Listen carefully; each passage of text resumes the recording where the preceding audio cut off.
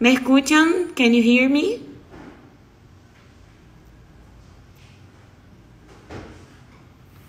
Melanie, ¿ahora me escucha o no?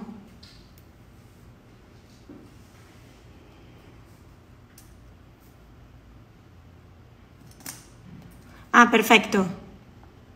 Esperamos un rato y me voy a hacer como un decir breve lo que yo Perdón por la demora.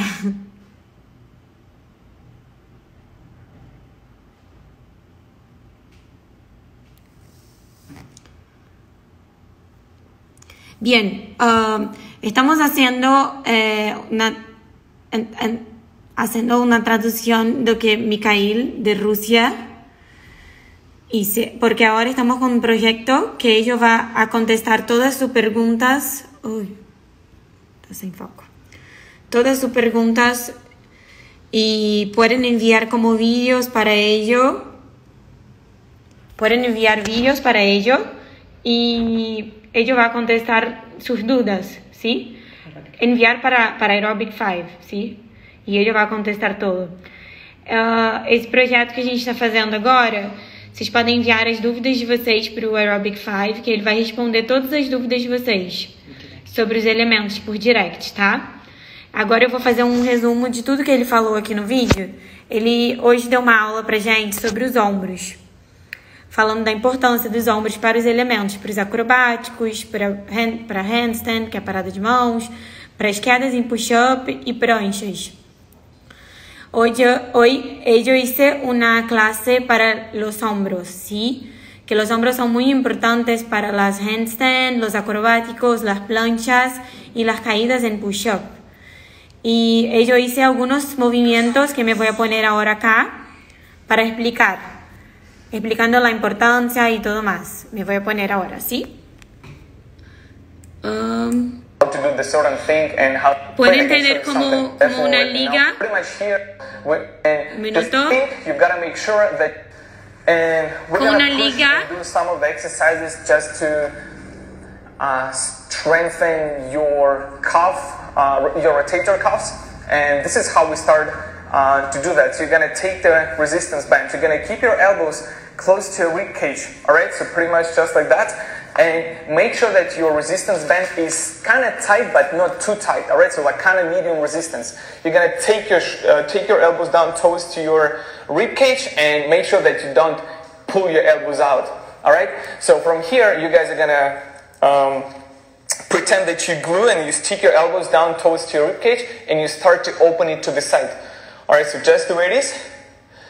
For the warm up, I usually proceed with this a little exercise for about 20 repetitions. Que este es el primer ejercicio que hace para activar los hombros, ¿sí? Hacerlo por 20 veces. Con las ligas, las ligas tienen que tener una resistencia, no mucha, pero tiene que tener, no pueden estar flojas. Hacemos este movimiento por 20 veces. Esse exercício é o primeiro que ele faz para os ombros e a, o elástico tem que estar tá com uma certa resistência. Ele não pode estar muito solto para poder trabalhar os ombros de vocês. Ombros e costas. And I'm gonna proceed with um, I'm proceeding with the next one. All right? São 20 so what repetições. It does, you really start to get a better blood flow towards the back part of your deltoids and um, you really start to affect the back part of your shoulder. So you get more blood flow in this area right before you start to warm up and take more attention to the front part of your shoulder. All right? Ele fala que começa a circular mais o sangue na parte, traze... na parte de trás do ombro de vocês com esse exercício. Vocês começam a sentir. Com esse exercício, começam a sentir a parte de atrás de los hombros. ¿Sí? Eh, ahora, el próximo ejercicio que ellos hacen es. Un minuto. Ups. uh, your rotator cuffs, and this is how we start uh, to do that. So you're gonna take the resistance band, you're gonna keep your elbows close to your rib cage. Minuto. Hacemos Right? este movimiento. Um, after I'm finishing doing this one, I take my hands back a little bit closer to each other, get my arms Como right above my head. más. You have a very good line that your elbows is actually getting. Right after I finish this one, I take my hands a little bit wider and I take a little bit less resistance on the resistance band. And from here, I keep my hands front of myself and then I start to push my hands back towards uh, to the back wall, towards to the back wall, and then squeeze my shoulder blades together. You've got to pretend that you basically keep your arms and keep your elbows with your hands on a certain, um, I would say, flat surface. Let's pretend that you got to put your arms on the table. All right? If you guys are to put your arms on the table, you're not to sit like that, right? You're to keep it comfortable. You're to uh, drop your shoulders down and Ella está explicando la ejecución del próximo movimiento, que eh, tiene que pensar que tiene sus brazos en una mesa, ¿sí? Y que tiene que mantener la postura, que los hombros no pueden estar arriba, tiene que mantener la línea del, del cuerpo, ¿sí? Y este es el movimiento, apretando los hombros atrás. A ellos va a girar, va a hacer el movimiento de atrás y van a mirar las escápulas trabalhando, sim? Esse movimento ele está explicando que vocês têm que manter uma postura como se estivesse com os braços em uma mesa, que tem que relaxar os ombros, não podem estar, não pode elevar, né, os ombros, o trapézio, tem que manter a linha corporal perfeita, que vocês vão começar a sentir a, é, a parte de trás da, das costas e ombros trabalhando. Ele vai virar agora, vocês vão ver bem o que ele fala sobre squeeze your shoulder, que é apertar os ombros. And by taking this, you have a very good line that your elbows is actually getting um, a little bit lower than your shoulder length. From here, from here, you don't want to take your hands too close, but little by little, you want to start to squeeze your shoulder blades together and then put your hands back right in front of yourself. All right? And this exercise I also do for about 20 repetitions. Uh, you're gonna feel like the back part of your shoulder is getting a little bit sore, so that's a totally normal thing. Um, in about a few minutes, this soreness will let you go. All right? So this is how you do that. You squeeze your shoulder blades together and then you bring your hands back right in front of yourself. É exatamente isso que eu acabei de falar. Quando ele vira de costas, dá pra ver bem os, as escápulas dele trabalhando. Ele juntando as escápulas. Então é, é importante vocês pensarem nisso quando estão fazendo esse elemento. Quando ellos están de espaldas, pueden mirar las, las espaldas trabajando, ¿sí? intentando juntar las dos partes, que es muy importante si piensan eso cuando están haciendo este movimiento, ¿sí? para tener los hombros fuertes. Bien, el próximo ejercicio ahora, a ver. All right. So we just finished on this one. From here, you guys are gonna take your hands a little bit closer to each other. A little bit closer to each other. Keep your hands in front of yourself. And now this one is really up to your shoulder flexibility. I gotta keep your hands right in front of yourself. Pull your arms up above your head. And then lift it all the way. Primero hacemos este movimiento con las ligas un poco más flojas para, para hacer la movilidad de los hombros, ¿sí?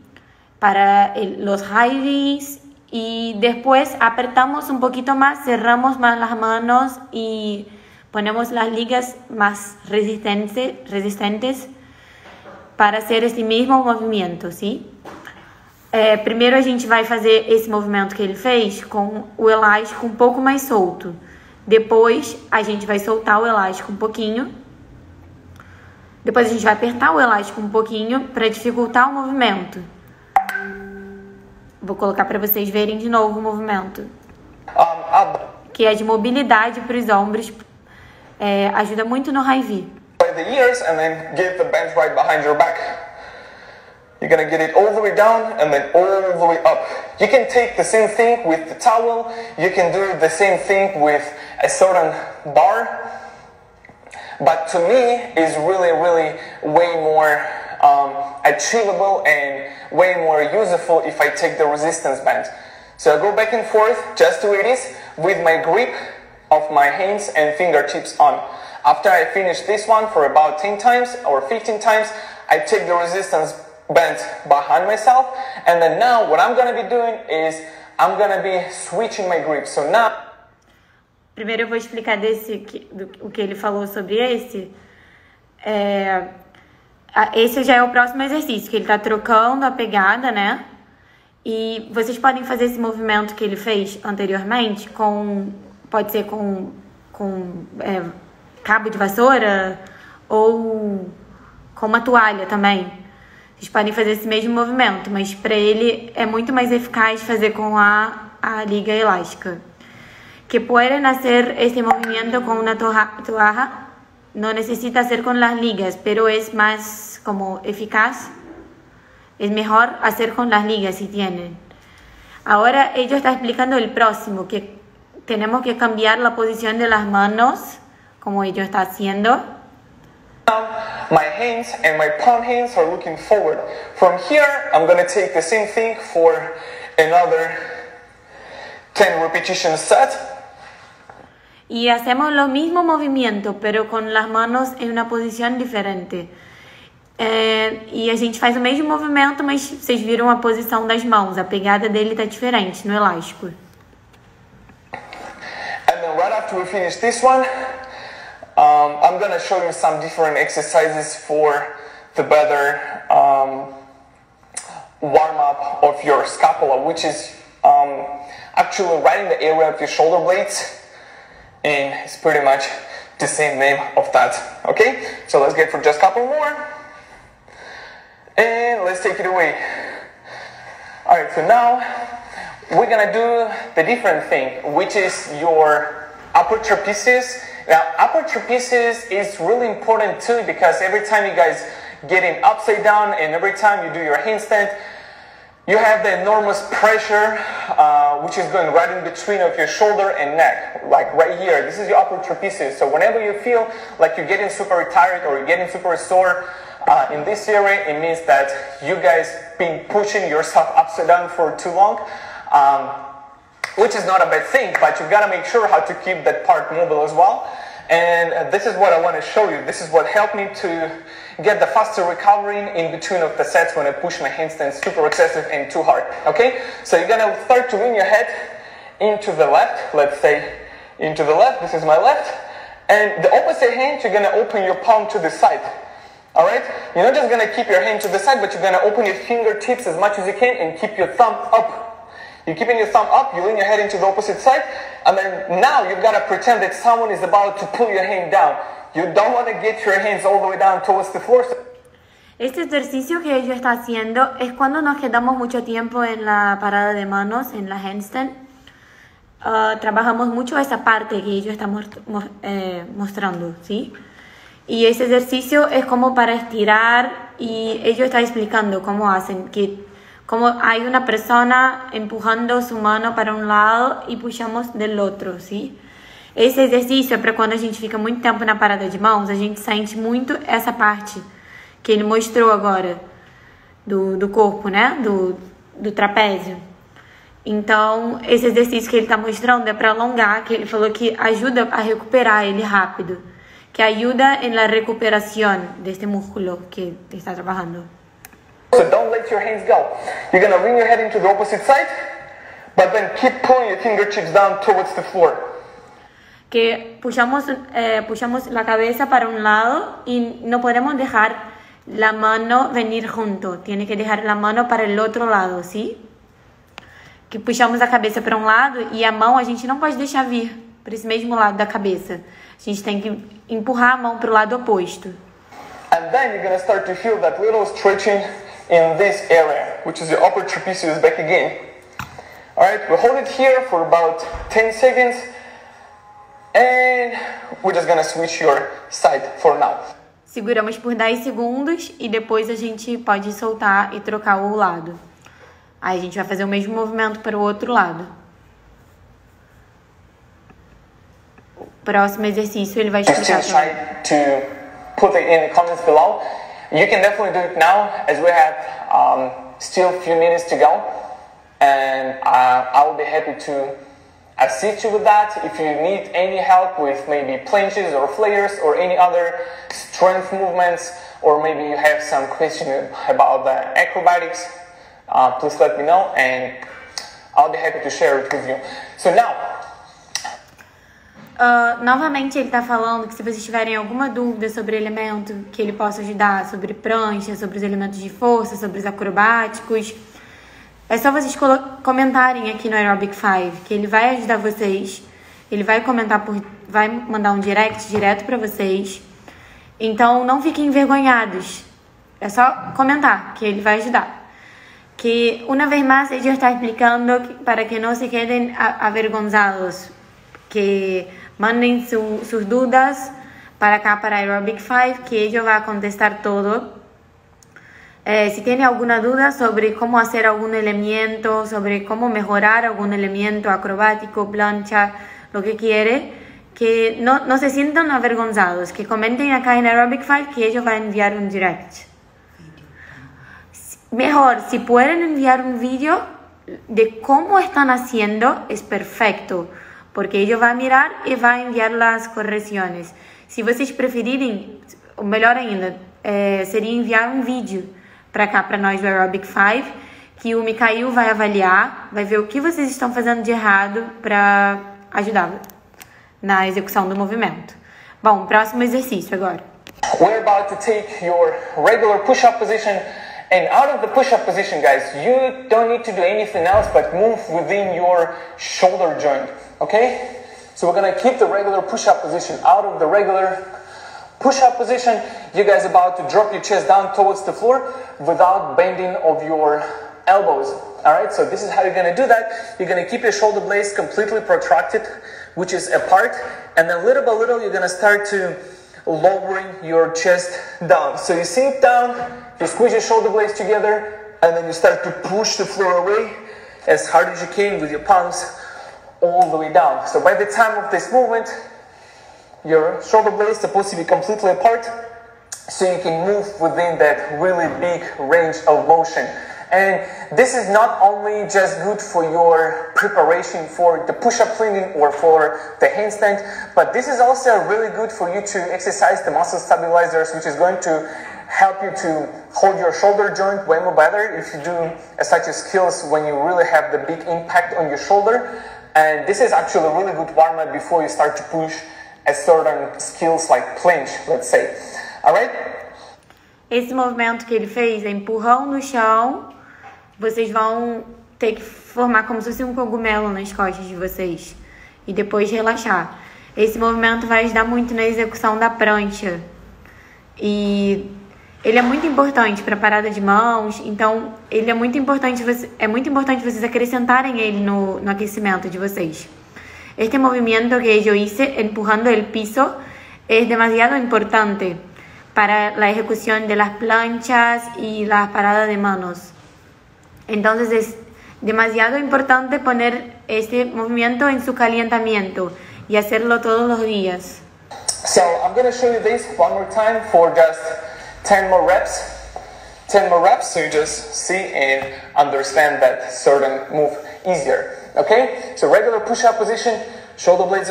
Hacemos este movimiento por 10 veces más eh, para que puedan comprender. Miren, miren suas espaldas como estão, sim? É, a gente vai fazer esse movimento por 10 vezes para que vocês possam entender melhor como é que se faz. Prestem atenção nas costas dele, como, como elas estão agora e como elas vão ficar. O movimento que ele vai fazer, ele vai empurrar o chão, formando esse cogumelo nas costas e depois descer, olha. You're gonna start to sink your chest down and then with your arms straight you push your palms all the way down towards the floor and set your shoulder blades apart. Alright, so we're gonna take the same thing for 10 times.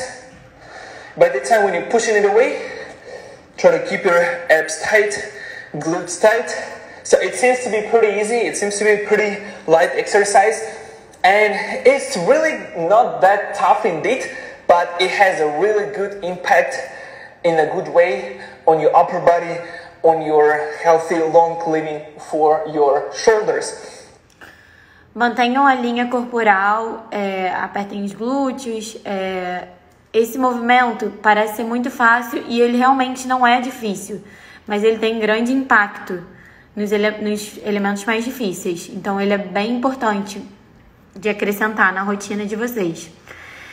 Este elemento uh, se parece demasiado fácil y no es difícil, pero tiene un impacto muy importante en los otros elementos más difíciles. Entonces, tiene que poner un foco más grande en este y siempre hacerlo. All right, so let's take for three more, two, and one. All right, so right after I finish doing this part of the warm up for my shoulders, I do the one more thing, which is pretty much the regular body weight exercise. And what I do is usually I take my body into the front body tilt by 90 degree, keeping my lower back flat, lean my body forward, and then just again, just take your shoulder blades completely apart. From here, you gotta squeeze your shoulder blades at first and then pull your elbows up so again, you can feel the better blood flow and better blood circulation within the back part of your shoulder. But now, because you guys are already getting into the horizontal body plane, you're about to squeeze and work more on um, on the suction muscles as your latissimus dorsi. So you're gonna work a lot better on your back muscles. Um, which is going to play the really good role before you guys start to proceed with such a skills again, like planning into the push-up, because all of the muscles uh, on the front, on the back. They're doing the different functions and everything's supposed to be well developed in the harmony. So if you really, really push hard the front part of your shoulder all the time, but you don't take any attention to the back part of your shoulder, eventually you can get um, problems with your shoulders. So whenever you push and whenever you go really hard on yourself, when you trying to reach a certain skill, when you push the front part of your shoulder, make sure that you work on the back as well. Ele está explicando que a gente sempre, quando está tentando fazer os movimentos, a gente precisa muito da parte frontal dos ombros. Só que para fortalecer essa parte, a gente tem que ter a parte de trás muito bem fortalecida. Então, tem que ter certeza de que a parte de trás está fortalecida para a gente não se machucar quando está fazendo algum elemento, como prancha, que são os elementos que a gente mais usa, a parte superior do corpo. Ellos está diciendo que para los elementos de plancha necesitamos mucho de la parte frontal de los hombros. Pero si no tiene la parte de atrás muy bien fortalecida, muy bien fuerte, muy fuerte, um, pueden lastimar. Entonces es demasiado importante trabajar esa, esa parte antes de, de seguir con los elementos, ¿sí? All right. Yeah. Alright, so the next thing, what I do um, is I just get in the regular um, prone body position, which is I'm gonna lay down on my belly and keep my arms apart. From here, by the time when I just getting down, um, I'm getting my arms to the side, and I pretty much going to do the rotational movements within my shoulder into the inside and outside. So we're gonna pronate and we're gonna supinate our shoulder joint. You're gonna keep your arms right here and then open your palm. Hope you see me. You're gonna open your palms to the front as much as you can and then open it up as much as possible as well. So go one and two. One and Esse próximo exercício, é, como vocês viram, tem que deitar de barriga para baixo no chão e vai só girar as mãos para baixo e para cima, ativando a parte de trás das costas. Vocês veem que ele não está relaxado, deitado no chão, está ativado completamente. Este próximo ejercicio es, vamos solo cambiar la, la posición de las manos, arriba y abajo, arriba y abajo, pero las espaldas tienen que estar activadas. No pueden estar como echadas, solo echadas. Tiene que estar activada para que puedan trabajar este músculo que ellos está diciendo. And to by the time when you open your palms up, try to squeeze your shoulder blades together.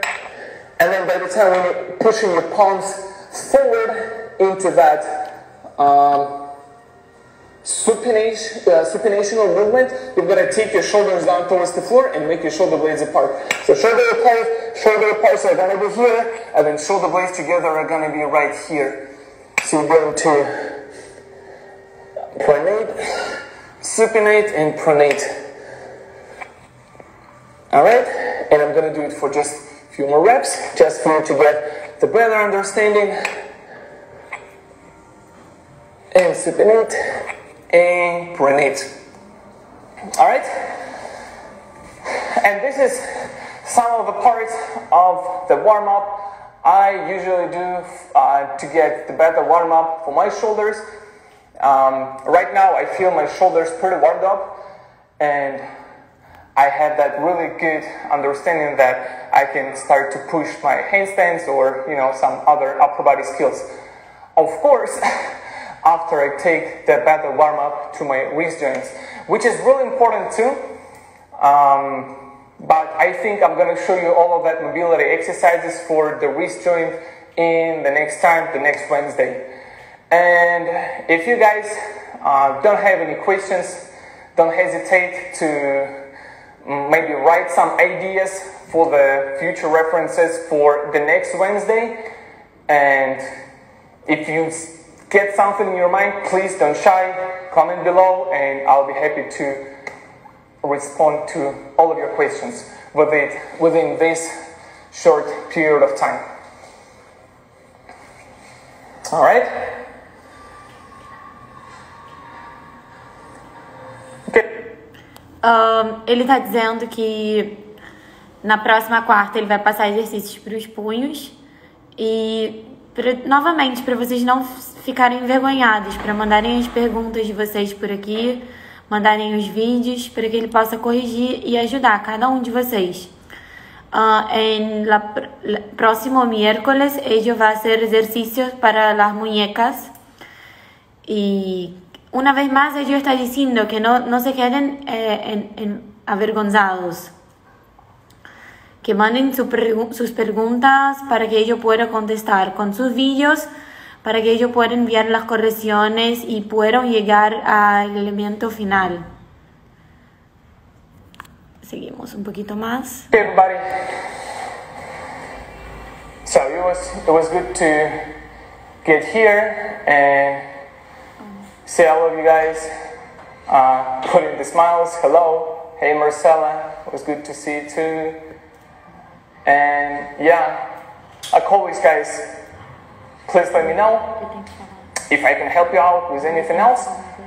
And I'll see you next time. I want to wish you to train safe, train smart, and always train fun. All right? I'll see you next time, and bye bye.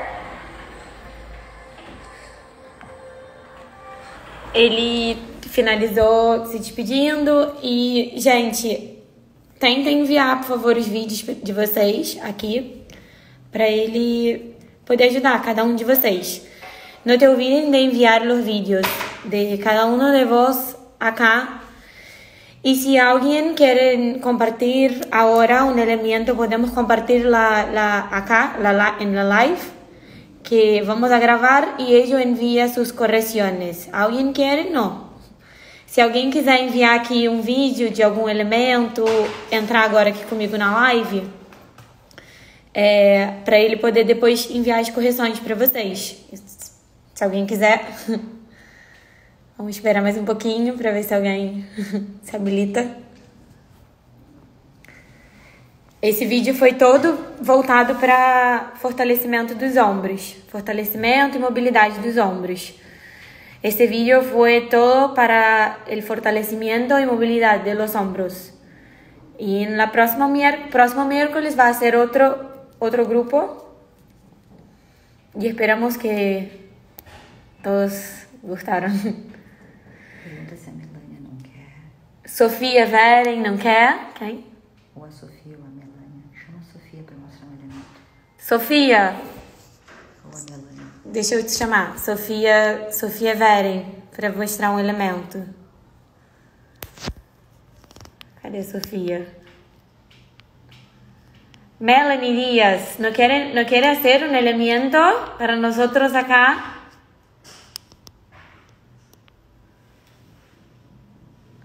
Ah, de nada, estuve intentando traducir, pero no, no soy buena.